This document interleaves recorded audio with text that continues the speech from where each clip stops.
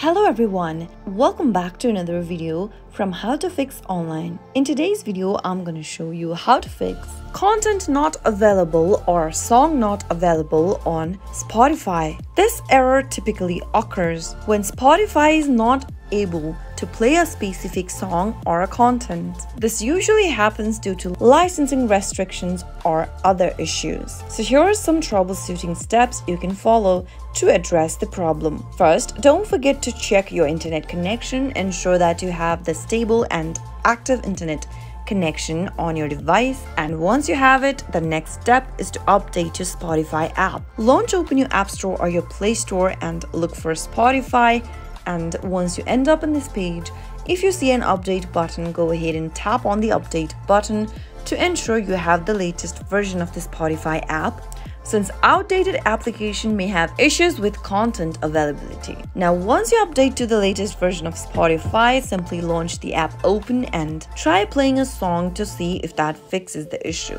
Another thing to do is to check for background application. Ensure that there are no other application running in the background that might interfere with your Spotify's functionality. So go ahead and close off any unnecessary application on your background. Once you are done with it, if you are connecting to a VPN, it may also affect the availability of some content due to the regional restrictions. So try disconnecting from the VPN and see if that resolves the issue.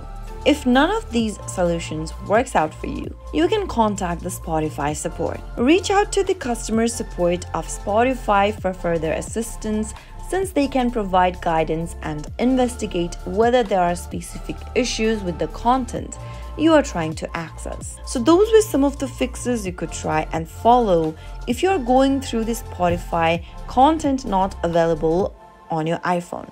If you found the video to be helpful, go ahead and give us a thumbs up. Don't forget to subscribe to the channel by hitting the subscribe button. Also press the notification bell so that you'll never miss another upcoming upload from us. I'll see you again in the next video.